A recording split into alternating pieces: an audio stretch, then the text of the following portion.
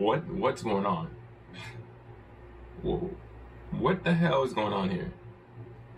Dana White just announced for UFC 307 Alex Pereira versus Khalil Rountree.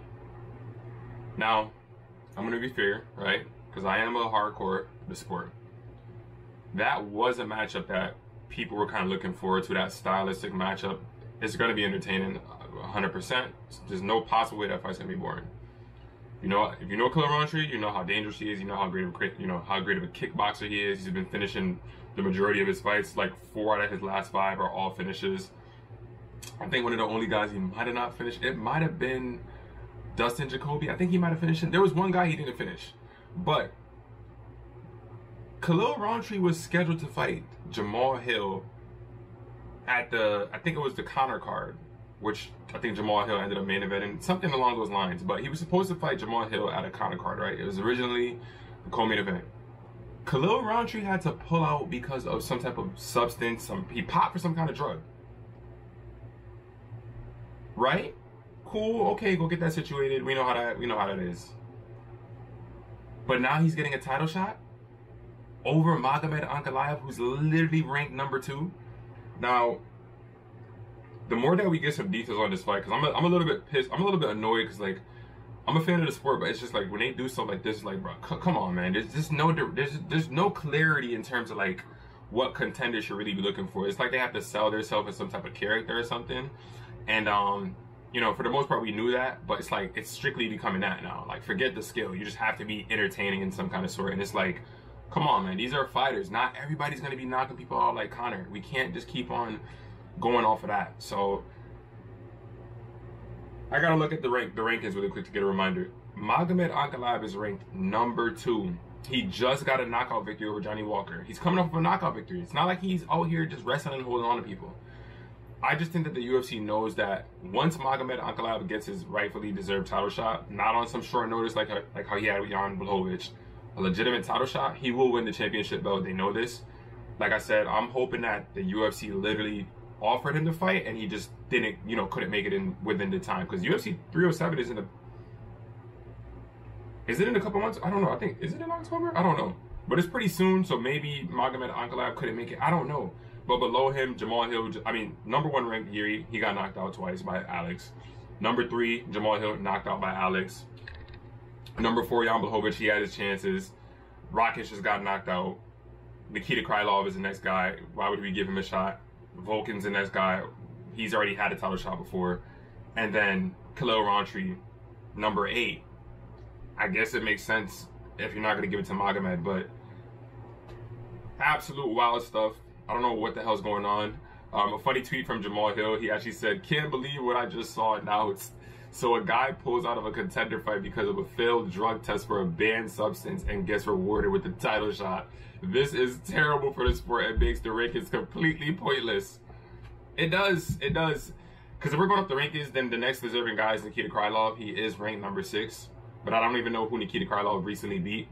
To be honest, if I'm, if I'm being real, I can take a look. His last win was over Ryan Spann. Ryan Spann's a bum. He did win by submission though. Before that, he beat Volkan Ozdemir. Pretty decent win. And then before that, he beat a old over the hill Alexander Gustafsson. So definitely was gonna give it to you know definitely was not gonna give it to Nikita Krylov. Um, but he's y'all get the point. Y'all get the point. Very confusing stuff. I don't know what the hell is going on in the UFC right now. Dana White is I don't know what's going on with him, man. But very ridiculous fight. Um, from Alex Pereira's standpoint, as soon as he, as soon as Alex Pereira decides I'm done fighting, he needs to be immediately put into the Hall of Fame, like first ballot. I don't care. What this man has done in his career is is unbelievable. It's unbelievable. But looking at the rest of the card, you got the co-main event, Pennington versus Pena.